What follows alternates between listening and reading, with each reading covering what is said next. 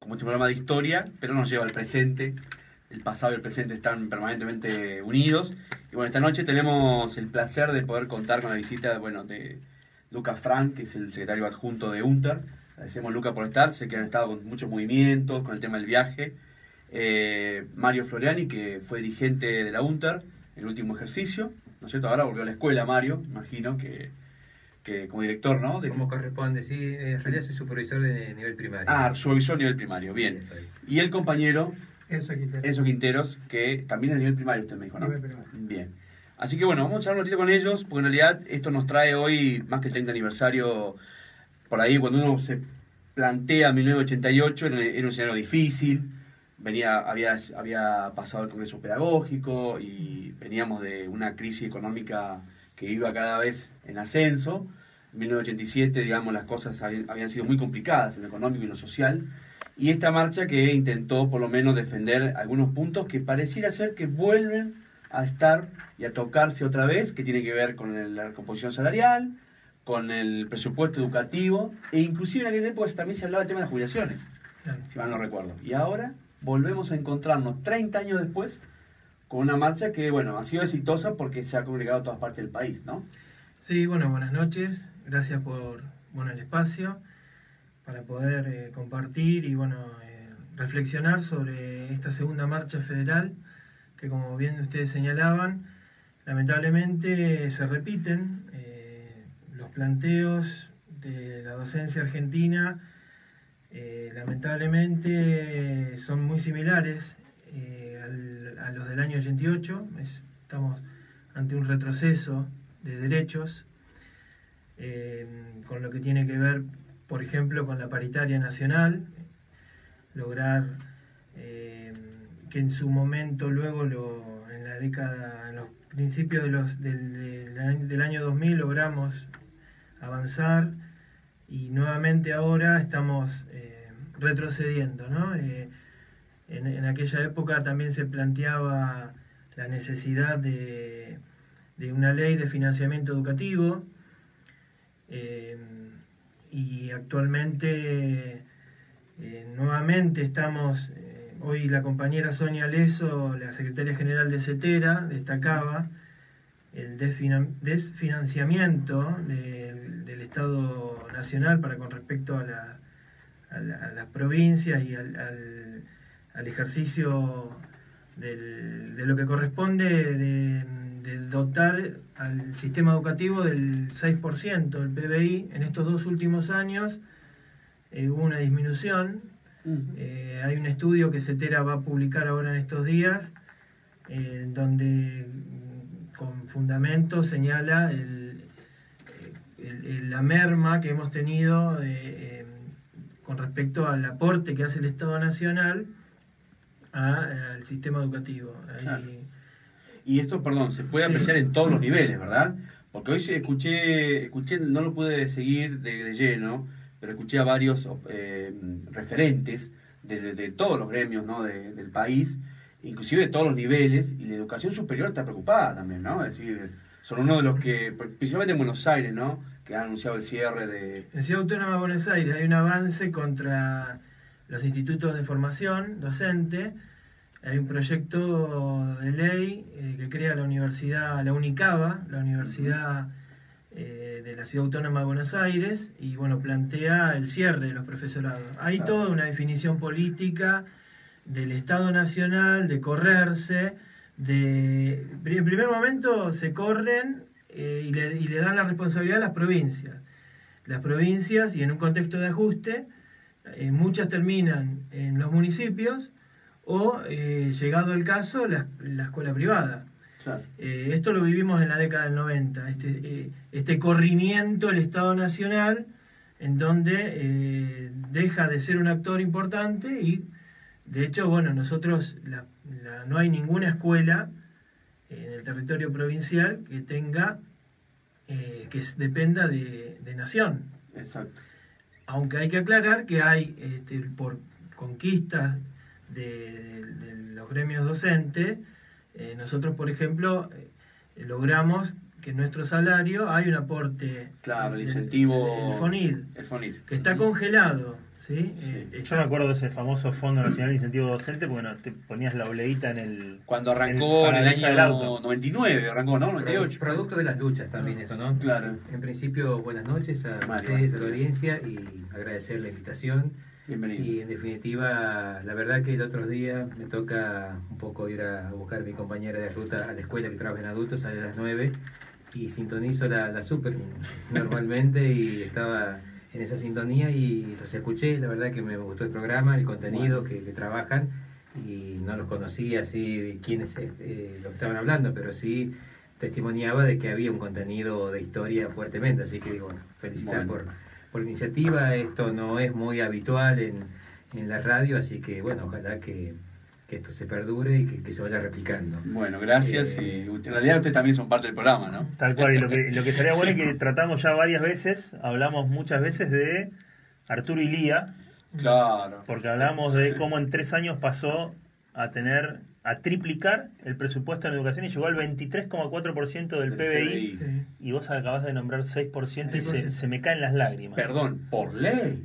Claro. Porque Por si ley, no sí, existiera la ley, no sé cuánto sería el... Y, de- y del PBI, digamos, hay que ver con cómo ingresa y todo eso, que es, es cada vez más magro. Es variable, claro. Eh, La verdad estamos viviendo momentos muy complejos en la Argentina, por no decir difíciles, de- en este lugar que me, me toca ahora eh, actuar, eh, de la docencia, como es la supervisión, mm, nos toca una mirada de las distintas escuelas y la situación social está pegando fuerte, eh, Claro. la cuestión de la intolerancia de, de los chicos, de la familia, de esto de la falta de trabajo, de la falta de comida, de los recursos para ir a la Claro. escuela, del transporte.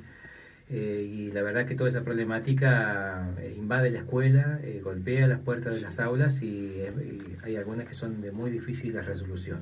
Totalmente. Y Por encima, eso digo esto de la, la cuestión de- del corrimiento del Estado, de la chica del Estado, tiene que ver con esto. Al no haber fuentes genuinas de trabajo, al no haber un financiamiento educativo que sostenga la escuela pública, eh, ojalá que esto no nos lleve a- al modelo de otros países o sin acabar el tema del modelo de Chile, que tiene que ver con esto, fuertemente una presencia privada, donde se trabaja con, con un sistema tipo charter, escuelas charter o eh, con vouchers, digamos, sociales para los que menos eh, tienen, eh, totalmente discrecionales y donde se hace una política de, voto cautivo sobre esas situaciones. Espero que no sea ese modelo, donde hay una transferencia importantísima hacia los sectores pudientes, concentrados de- del mundo y de la Argentina, en desmedro de la clase trabajadora, de los más humildes y los más desprotegidos. Así que en eso estamos muy preocupados, digamos, como dirigentes sindicales, como docentes y en el día de, de hoy, ¿no? Nuestro día, como Ujú. trabajadores de la educación, un día muy sentido donde se instituyó en un congreso de CETERA esta fecha, después de largas luchas, digamos. Sí. Yo vengo, soy hijo de, de docente y en ese sentido, ya de los tiempos de mi madre, que me tocó tra- transitar de la mano muchas veces también, el tema de, de estas luchas docentes por el salario, por las escuelas en condiciones, para que haya material en las escuelas, digamos, es algo de nunca acabar donde debiéramos haber aprendido algo y esto que se retrotrae a esa historia sin reciente, digamos, 30 años atrás, estamos pidiendo lo mismo prácticamente. Que haya fondos para las escuelas, que haya salarios dignos, que haya más creaciones de escuelas, más puestos de trabajo para atender a los que menos tienen y fortalecer la escuela pública y no la privada, que digo, no solamente esto pasa en otras provincias, en Río Negro también hay un sistema que hay subsidios a la escuela privada y en desmedro de la escuela pública donde muchas veces no hay bancos, hay ciertos hacinamientos Sí. o eh, no se garantiza totalmente el transporte escolar como, como pasa en, en aquí cerca nomás en la ciudad. Sí. Eh, así que en eso, lamentablemente, eh, eh, se están haciendo todas las cosas como para que eh, hoy por hoy la docencia y eh, con mucha valentía en el Río Negro, eh, más del 95% ha acatado la medida, con muchos temores, porque se viene anunciando que se va a cambiar la ley de jubilación docente, que no va a haber más financiamiento, esto de la formación del programa Nuestra Escuela, que tenemos la formación permanente, los docentes Exacto. también, digamos, va a dejar de, de estar como el incentivo eh, nacional docente, que es un incentivo que está congelado, que equivale ahora a 1.200 pesos por, por cargo, Sí. eh, que las patentes ustedes saben cuándo se han actualizado, pero ese incentivo no, digamos, es un impuesto que estamos pagando, no sé dónde está el resto del dinero. Claro. Eh, cuando hablamos de- del corrimiento del Estado, por ejemplo, eh, las escuelas de jornada extendida, que te, recibían un aporte eh, que un poco le daba el sentir para adquirir elementos didácticos eh, y recursos para las escuelas, para seguir con la tarea pedagógica cotidiana, no está recibiendo ya desde el año pasado eh, estos fondos. Y hubo esta importantísima marcha, la segunda marcha federal, Sí. que conduciendo la UNTER mm, nos tocó participar de lleno de la primera marcha ¿En qué año fue? de Macri en el 2016. 16, claro. Eh, entre septiembre y octubre fue, fue esa marcha, nosotros en conflicto también en ese momento. Sí. Eh, ya se marcaba esta tendencia, ¿no? Lamentablemente no se ha escuchado, se ha eliminado de un plumazo, más allá que hay una ley de la paritaria nacional, eh, hay una fuerte definición política de abandonar lo público. eh, seguramente vamos a desembocar en una pseudo AFJP de la jubilación docente. Esto que apunta a la privatización de la educación, también son estos parámetros de, de desalentar lo público, de que Claro. funcione mal y la gente, eh, como le está pasando aquí a nuestros eh, compañeros vecinos mm, en Neuquén, donde no hay definición de arreglo, no hay, digamos, una cuestión de voluntad política de sentarse a negociar con el sindicato y donde hay también una definición política nacional de persecución hacia eh, el sector sindicalizado, las organizaciones sindicales, buscando todos los artilugios de persecución para desalentar las organizaciones de los trabajadores. Digo, Claro. estamos en, en esos eh, frentes abiertos que hacen de que al menos, bueno, vamos tomando conciencia, eh, lo bueno de todo lo malo, digamos, eh, yo creo que el efecto más ha sido de que los trabajadores, más allá de todas las diferencias desde el crisol de ideologías que transitamos dentro de, de nuestra vida de nuestros sectores, eh, ha hecho que empecemos a mirarnos un poco más uno a uno y podamos empezar en unidad, eh, empezar a marcar estas presencias, eh, estas cuestiones que hacen mucho daño al, al ciudadano o a ese niño de a pie, digamos, quien no tiene quien lo proteja. Por eso nos paramos en defender la escuela pública y fundamentalmente la cuestión esta de que haya una igualdad de oportunidades, no solamente en la escuela abierta, sino con las posibilidades que esos niños ingresen a la escuela y que no estén pensando en los problemas que hay en la casa, sino pensar en cómo eh, construir ese conocimiento para defenderse después en cambiar la realidad que les toca vivir. O sea que te escuchaba y pensaba, así como hablábamos del porcentaje de PBI del gobierno de Ilía, hace poquito tocábamos el tema de mm, la ley de educación superior, todo, y decíamos, pensar que Chile, 110 años después, está luchando por ser como Argentina, Claro. y nosotros vamos Un camino. al camino de querer ser como Chile. Claro. Qué cosa, ¿no? Las cosas que tienen- Alguien, alguien va a contramano y me parece que no son ellos. Está, está complicado. eh, ahí, ahí mencionabas varias cosas para tomar. Ahora vamos con el tema de la marcha, que tenés datos importantes. Me quedaba con el tema de también lo que tiene Edilicia. Vos como supervisor conocés las escuelas de tu zona y qué tema el tema de, lo- de los, de, de los edificios, de las infraestructuras.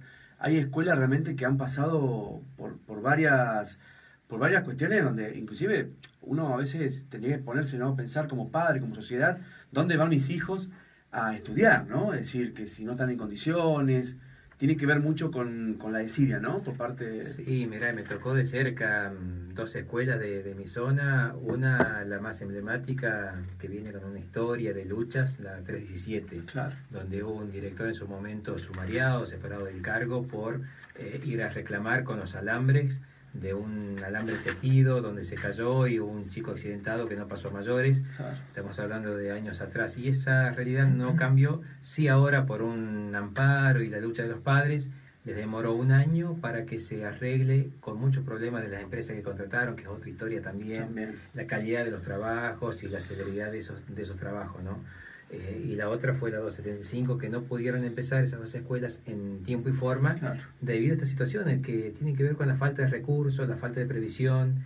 Todos los equipos directivos eh, no somos eh, ni ingenieros ni maestros mayores de obra, pero nos exigen que en octubre presentemos todas las demandas eh, para llevar adelante los arreglos. Se hace como se puede, con lo que uno puede determinar que está haciendo falta, pero ni eso básico que se pide en las escuelas se concreta después eh, para eh, comenzar en marzo Claro. las clases como corresponde. Así que nosotros adjudicamos eh, un poco la falta de gestión eh, a las tercerizaciones que va habiendo y también a la falta de presupuesto de tener una caja chica que no debiera ser tan chica para solventar algunas cuestiones menores. El día a día, ¿no? El vidrio. una cerradura o se me tapa un baño. Claro, eh, baños. cosas básicas.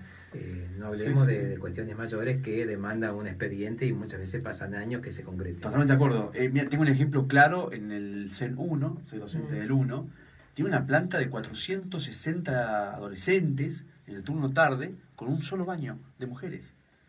O sea, tiene dos, planta alta y planta baja. Uno quedó clausurado por varios días. Y uno se pone a pensar, ¿no? Todas las cuestiones tienen que ver con... Estado de La higiene. la, la seguridad, la seguridad y la higiene de, de, de lo que circulan, digamos, y Exacto. sin contar que a la noche sigue habiendo Y gente perdón, y funciona la noche con adultos, la escuela con adultos. Veo que trajiste los números, hiciste los deberes, Lucas. Lucas, todos le decimos es profesor de historia, somos colegas, así que sabe muy bien, también sabe muy bien de lo que, lo que nos toca, ¿no? A nosotros como, como profe de historia, ¿no? Pararnos y, y traer, ¿no? El, No, eh, sí, eh, no, lo que quería señalar era eh, por ahí este, algunos datos. primero, bueno, que se, la- esta marcha federal eh, partió de cinco lugares, como en el año 88. mirá, ¿m? se, se restauró la historia, digamos. Claro, desde cinco puntos geográficos, desde el norte argentino, del noroeste, de San Salvador de Jujuy, del noreste argentino, la ciudad de Posadas, de la Patagonia Atlántica, desde la ciudad de Rawson, la Patagonia Cordillerana, desde Esquel, y de la región de Cuyo, desde Mendoza. Eh, señalábamos que las demandas son muy similares, ¿no? Tienen que ver con el lograr lo que, lo que hoy tenemos por ley, pero no se cumple, porque el Estado Nacional, eh, una de las cuestiones que se aprecian es que no cumple o vacía de contenido a la normativa. Eh, la paritaria nacional docente está, este, pero no se le da cumplimiento. Eh, uno de los ejes fue ese. El otro eje, la, una nueva ley de financiamiento educativo. Un estudio de la CETERA en estos dos últimos años eh, destaca que en el 2015 se llegó al 6,12% del PBI y eh, en la actualidad eh, estamos en el 5,8%. Esos puntitos se traducen en millones de pesos. Claro. Y no es que- Decenas de millones. Totalmente. Claro. Lo otro, este, mm, por ejemplo, bueno, salarios dignos, eh, la resolución inmediata a los conflictos provinciales, esta situación que tenemos aquí nomás en Neuquén. en, Neuquén. En Chubut Mirá. también es muy preocupante, están cobrando en cuota los compañeros, no hubo acuerdo salarial y eh, le están abonando los, los salarios en, eh, por semana. En Chubut es muy preocupante. la Santa situación. Cruz debe estar igual. Santa Cruz no sé la realidad, pero sí, también está muy, muy comprometida la situación. Eh, bueno, en defensa de los institutos superiores, esto que señalamos hace un momento. Sí. Y hay algo que en el 88 también, uno de los lemas, de los cánticos era eh, salario sí, fondo no. Ah, El FMI. y aquí empezamos Ah, nuevamente yo con- lo relacioné con el fondo de incentivo, digo, No, ¿por qué no? No quieren el fondo, decías vos. ¿Qué pasó? Salario, claro, salario sí, Fondo Monetario Internacional, ¿no? Y ah. aquí aparece nuevamente, y este es el eje nuestro también, sí, no el acuerdo con el Fondo Monetario Internacional. ¿no? Porque ya sabemos qué pasa cuando el Fondo Monetario interviene en un país. Ese es el Sí, problema. lamentablemente- O sea, lamentablemente, o sea, por ahí traen, digamos, algunas cuestiones que tienen que ver con resolver eh, ese pequeño, esa pequeña llama, pero después el incendio pasa a ser complicadísimo. Sí, y son decisiones que está tomando el Estado Nacional, pero también hay que observar que comienza a tener el apoyo, y veamos que hace unos días estuvo el gobernador, eh, en el aval al ajuste, De las provincias. de las provincias y también eh, no- de actores políticos eh, como los gobernadores, los senadores. Recordemos la actuación de un senador para aprobar la ley previsional en diciembre pasado. Entonces empiezan estos, estas situaciones eh, de, de- nos, nos vemos comprometidos porque el Estado, obviamente hay toda una intencionalidad de desfinanciamiento del Estado, ¿sí? el Estado Nacional transfiere riquezas a, a, las, a, las, grandes empresas, veamos lo que ha sucedido con la mega minería, en donde antes había retenciones y ahora no las hay. Eh, la, la, situación es crítica de, la, la, educación en la Argentina. Eh, la intencionalidad de, la, de la marcha federal es salir a la calle y hacer visible esta situación. Cientos de miles de compañeros desde mm, Roca eh, se aportó, hay que destacar, los compañeros eh, son tres días que están fuera de, sus hogares y bueno, estuvieron presentes en Plaza de Mayo en el día de hoy y eh, bueno, haciendo visible toda esta situación, ¿no? hay aspectos, por ejemplo, para destacar también de lo que está sucediendo, muchos de los cursos de la formación permanente que nosotros eh, hemos, a lo largo de estos años, hemos, en los últimos años se habían conseguido, eh, se han desactivado, cursos, posgrados. Eh, la situación de las, em, por ejemplo, lo que ha sucedido con ciertos programas como el Conectar Igualdad, las netbooks, hoy no, no tenemos, no hay disponibilidad. Eh, se han desactivado los coros, las orquestas eh, infantiles, toda una serie de programas este, que no es solamente la cuestión salarial, ¿no? cuando a veces los medios de comunicación plantean, eh, corren los ejes y nos muestran ¿no? este, por ahí la culpa de los docentes, nos asocian este, con, con, con este, la figura de, de, no del docente, el apóstol, el que está en el aula dando su clase, sino el docente problemático. Pero bueno, también veamos que en la sociedad, en este sentido, eh, la, escuela pública es un valor, porque, eh, y como señala un secretario general de un gremio de, la Ciudad Autónoma de Buenos Aires, eh, él plantea en términos románticos de que hay una historia de amor entre la escuela y la sociedad. La, familia reconoce a la escuela, la familia argentina. Y como verán, no es solamente una cuestión salarial, hay cuestiones de, que hacen a la calidad, este concepto también bastante problemático. Sí, sí. Pero veamos aspectos que eh, hoy empezaron a, desaparecer. en estos dos años no están. Y, bueno, es esto lo que queremos. Este, para, para, sí, la verdad que sí. Visible, Sí, totalmente. Para ir cerrando. agregar sí, una cosita. Sí, sí. Este, también entrar en este debate, ¿no? De, digamos, esta cuestión del desconocimiento del Estado de la ley. La ley que está normada, que está arreglada, digamos, porque esta ley de financiamiento educativo es algo que, están, que fue aprobada, digamos, en las cámaras respectivamente, y hoy el propio Estado es el que desconoce la ley, digamos. ¿Cómo nos paramos nosotros como docentes frente a los alumnos para enseñarles que el Estado está para el respeto de la ley? Y sin embargo hoy el Estado desconoce una ley. Una ley que no es únicamente, digamos, la cuestión salarial del, del docente. Es un combo. Y en ese combo está el financiamiento a las escuelas. Yo le cuento, yo trabajo en una escuela de, en la escuela de Gómez, pronto a cumplir 100 años. Venimos hace más de 20 años solicitando que se nos construya un Zoom. 20 y es, y es una escuela histórica. La que está frente a la plaza, ¿no? no, la, ah, que está frente de la estación de ferrocarril. Ah, bien. Sí, sí.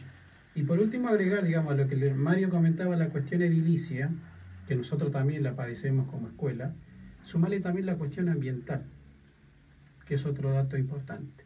La cedra, la que nosotros tenemos, ¿sí? No nos olvidemos también de las arenas silicias que están en este penel y que es una comunidad que, convive con eso. Sí.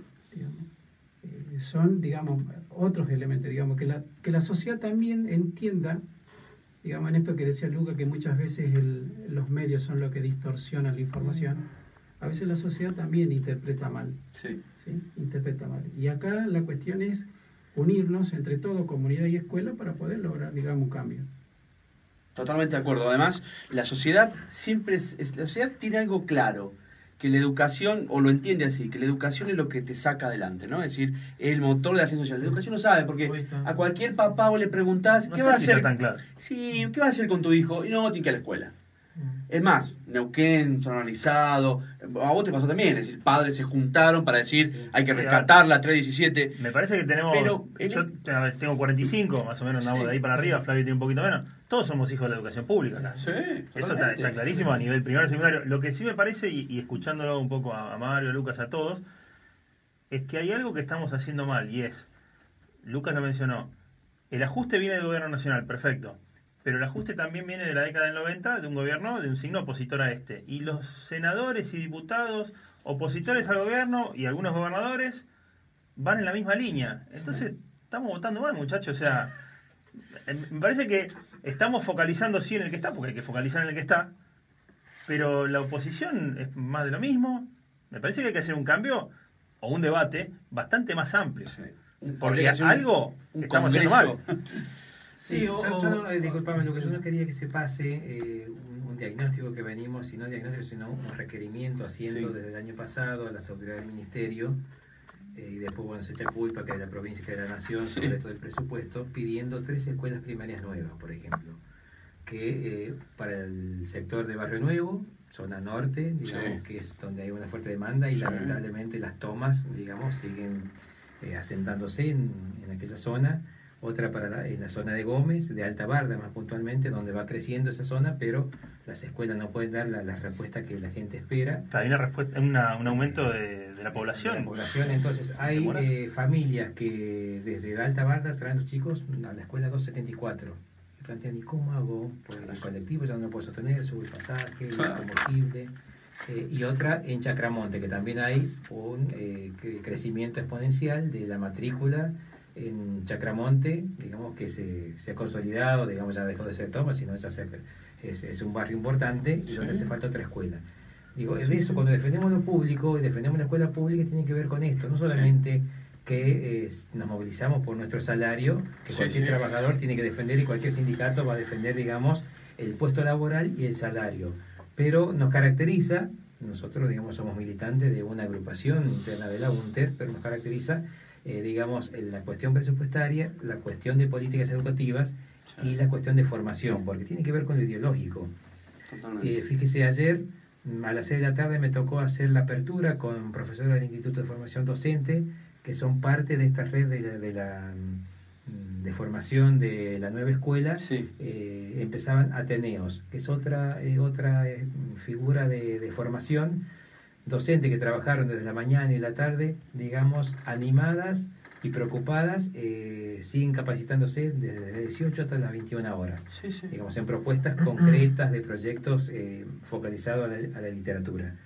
Eh, como supervisor estamos llevando adelante eh, nuevos círculos de gestión para directivos para trabajar sobre las planificaciones y estilos de gestión para optimizar, digamos, las cuestiones importantes y no las urgentes dentro de las escuelas, porque la vorágine y la dinámica de la escuela hoy nos, Día nos pasa día. por encima. Claro. Digo, eh, lamentablemente ayer lo, lo tuvimos que decir que empezamos con esto, seguramente los tres encuentros los vamos a poder sostener, pero después no va a haber otros porque no va a haber presupuesto para sostener esto.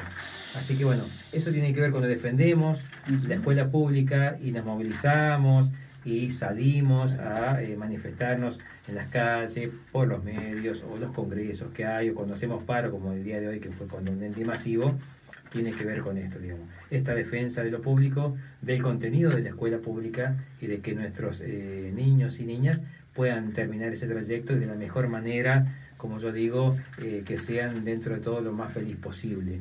En esta Totalmente acuerdo. eh, cruel realidad que Sí. estamos atravesando hoy en día en la Argentina. Que nos toca vivir y de cerca, ¿no? Y bueno, y decir también, digamos, eh, yo soy oriundo de San Luis, así que tengo mis familiares que compartimos y lamentablemente hay gobernadores que van, van entregando la dignidad, por no decir otra cosa, eh, pero otros no, se han parado y le han dicho no al gobierno nacional y piden que les devuelvan lo que le han sacado po- como coparticipación. Como San Luis, como ¿no? es el gobierno de San Luis, Sí. como dice aquel La Alberto. República Separatista San- de San Luis. San Luis, otro país. Pero Es digo, otro bueno, país. Hay, hay modelos que, digo, no todo está perdido, hay que empezar, digamos, a copiar las cosas que se hacen bien. Exacto. eh, y en eso esperemos que para el año que viene eh, la ciudadanía, bueno, piense un poco más, Claro. y reflexione, pero digamos, eh, cuando ponemos el voto no ponemos un cheque en blanco, sino que tenemos la posibilidad de manifestarnos fuertemente, y más con los representantes eh, que hay en cada localidad. Exactamente. Y recordar todas estas cosas que son clave, como decía Gustavo recién. Yo soy partidario de la circunscripción uninominal para saber a quién votaste y no una sábana donde no sé quién es mi diputado. claro. Entonces, la parte buena de, de Estados Unidos y copiarle es que los tipos dicen, "Eh, él es mi diputado, usted tiene que, ¿qué votó? A ver, ¿cómo votó usted? No. Pero a él Se se, lo- lo, digo, ¿no? se ¿A, lo pasan. ¿a quién se lo vas a reclamar? Bueno, lamentablemente Se nos va el fue tiempo programa. del programa. Yo, la verdad, muchísimas gracias. Tenemos para hablar toda la noche, en realidad. Pero porque- no, no vamos a hablar toda No. la noche, pero vamos a hablar en otra oportunidad. Exactamente. Se- te- los vamos como- convocando siempre. Ya la otra vez trajimos vino Roncallo, me acuerdo trajimos el día del cumpleaños. Sí, sí. Así que estos temas en Aprendiendo la Historia van a volver siempre. Agradecemos la visita. Lamentablemente vuelven estos temas. Sería bueno venir por algo lindo, ¿no? Pero bueno, visibilizar los problemas Sí. es parte de la solución. Está perfecto y bueno, esperemos que puedan tener soluciones con la Escuela escuela. Primaria de Gómez, que es una histórica escuela, mira, 100 años. Así que en cualquier momento capaz que llamamos y lo traemos al director de la Escuela de Gómez, ¿eh? Este, para recordar estas No. cosas que son realmente muy importantes. La verdad, a ustedes, eh, por, por el espacio y sobre educación podemos hablar, hay distintos temas. Totalmente. Digo, en, en esto que, que me toca hoy por día, mm, desde primaria, hay muchos proyectos, hay muchas cosas buenas que hacen las escuelas, como eh, la 289, yo hablo de mi zona, digamos, que empezó, por ejemplo, tomando el mundial, eh, hizo una Sí. integración y trabajó con los chicos. Sí, sí, lo Igual, muchas experiencias valiosas en la escuela que, que digamos, eh, no, lo, no hace falta eh, que los maestros, digamos, lo, lo hacen con cariño, con la innovación, digamos, eh, no solamente Sí. se va a trabajar por el salario, sino Sí. que hay un cariño, una cuestión de darle otras oportunidades a los chicos, eh, fundamentalmente el, el mejor vínculo y como yo decía recién, ¿no? que transiten esa escolaridad lo mejor posible, digamos, eh, que se olviden un ratito, que estén calentitos, por eso reclamamos que haya calefacción, que haya agua, condiciones para que estén cómodos eh, esas cuatro horas u ocho horas, depende la, la modalidad dentro de la escuela. Así que el agradecimiento Bueno. por este espacio y bueno, a disposición desde nuestros Bueno, lugares para... Muy amable. amables. Muchas A vos, gracias. a vos, Lucas, por habernos hecho posible y bueno, No, muchísimas ustedes. gracias. Por favor. Gracias Bueno, nos vamos con una efeméride musical. Un día como hoy de 1982 se estrenaba The Wall, la película de Alan Parker y, de ese de ese disco doble, todavía con Roger Water como, como vocalista. A mí igual me, me gusta más de este tema la versión de David Gilmour. Vamos con La comodidad de anestesia se llama el tema. Mirá que justo, justo la pegué, ¿no? Tema histórico. Confortable NAMS y ya volvemos en Aprendiendo la Historia. Buenísimo. También podría haber sido No se puede vivir del amor. Claro, con, la vocación, con la vocación ya no hacemos nada. No, no se pagan los impuestos.